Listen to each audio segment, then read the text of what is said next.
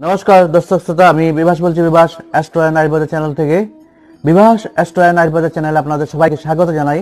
আজ আমি আপনাদের সাথে এসেছি বসন্তকালে বাসন্তী পূজা দু হাজার একুশের দিন, তারিখ এবং মাস নিয়ে। তার সাথে আলোচনা করব, এই পূজা কোথা থেকে সৃষ্টি হয়েছে তার সংক্ষিপ্ত গল্প আপনাদের সাথে শেয়ার করব। তার আগে অনুর ভিডিওটা স্কিপ করে দেখবেন না স্কিপ করলে অনেক কিছু মিস করে যাবেন। আর আমার চ্যানেলে যারা নতুন আছেন চ্যানেলটা সাবস্ক্রাইব করার জন্য আমার পাশের অল বেল আইকনটি ক্লিক করার জন্য। আজ আমি আপনাদের সাথে প্রথমে আলোচনা করছি, বসন্তকালে বাসন্তী পূজা সৃষ্টি কোথায় থেকে হয়েছে? রাজা সুরত সুশাসন ও যোদ্ধা হিসেবে বেশ সুখ্যাতি সম্পন্ন রাজা ছিলেন। এখন তিনি কোন বংশের রাজা ছিলেন? তিনি ক্ষত্রিয় বংশের রাজা ছিলেন।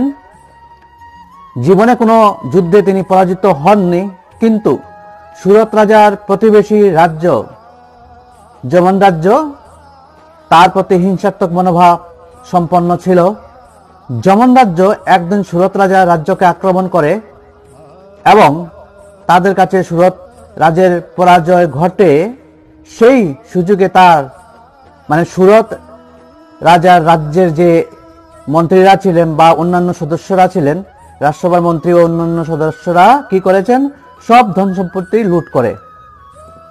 কাছের লোকদের এমন আচরণ দেখে তিনি হতভম্ব হয়ে যান। অবশেষে সর্বরা হয়ে বনে আশ্রয় নেন। বনের মধ্যে ঘুরতে ঘুরতে তিনি মেধা ঋষির আশ্রমে হাজির হন। ঋষি রাজার সমাদর করে তার আশ্রমে থাকতে বলেন। আশ্রমে থেকেও রাজার মনে কোনো শান্তি ছিল না। তিনি সবসময় হারানো রাজ্য ও তার প্রজাদের ভালো মন্দের কথা চিন্তা করে, অস্থির হতেন। মনের মধ্যে একদিন সুরত রাজা সমাধি নামে একজনের সাথে দেখা হয়। এই যে বনে থাকতেন তিনি, সেই বনের মধ্যে সমাধি নামে একজনের সাথে দেখা হয় তার। তার সাথে কথা বলে সুরত জানতে পারেন মানে সুরত রাজা জানতে পারেন যে সমাধির বিষয় সম্পত্তি কেড়ে নিয়ে তার স্ত্রী ও ছেলে তাকে বাড়ি থেকে তাড়িয়ে দিয়েছে। সমাধিও তার মতো স্বজন প্রতারিত ও সর্বহারা, কিন্তু তিনিও মানে সমাধিও সব সময় তার স্ত্রী ও ছেলের ভালো মন্দের কথা চিন্তা করে শঙ্কিত হয়। তারা ভাবলেন, যারা তাদের সর্বহারা করেছে কেন? তাদের কল্যাণের কথা সবসময় মনে হয়। এই কথা জানার জন্য তারা মেধাঋষিকে জিজ্ঞাসা করলেন।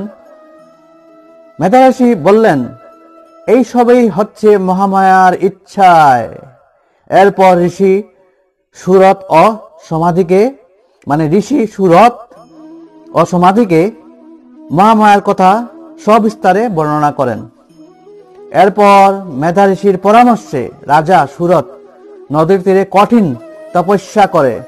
পরে মহামায়ার উদ্দেশ্যে বসন্তকালে চৈত্র মাসের শুক্লপক্ষে দুর্গাপূজা করেছিলেন। এই দুর্গাপূজাই হচ্ছে বসন্তকালে বাসন্তী পূজা। এই দুর্গাপূজাই হচ্ছে বাসন্তী পূজা নামে পরিচিত। এখন বলে দিচ্ছি, দিন তারিখ এবং মাস কোন দিন দু হাজার একুশের পূজা শুরু হবে এবং শেষ হবে, আমি ষষ্ঠী থেকে বলব। দু হাজার একুশ বাসন্তী পূজা, অনেকে এটা চৈত্র দুর্গা পূজা বলে থাকেন। বাসন্তী পূজা ষষ্ঠী হবে রবিবার, আঠারো এপ্রিল দু হাজার একুশ।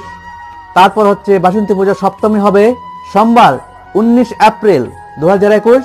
তারপর হবে অষ্টমী মঙ্গলবার বিশ এপ্রিল দু হাজার একুশ। তারপরে হবে নবমী। সেদিন থাকছে বুধবার একুশ এপ্রিল দু হাজার একুশ। তারপর হচ্ছে বিজয়া দশমী বৃহস্পতিবার বাইশ এপ্রিল দু হাজার একুশ। আমি নেক্সট যখন ভিডিও আপলোড করব, আপনাদের সব ডিটেল দিয়ে দেব। কোন তারিখে কোন সময়টা দিয়ে দেব। চিন্তা করবেন না। আজকের মতো ভিডিওটা এখানে সমাপ্ত করতে যাচ্ছি। আপনারা সবাই ভালো থাকুন, সুন্দর থাকুন, সুস্থ থাকুন। প্রভুর কাছে এটাই আমি কামনা করি। নমস্কার।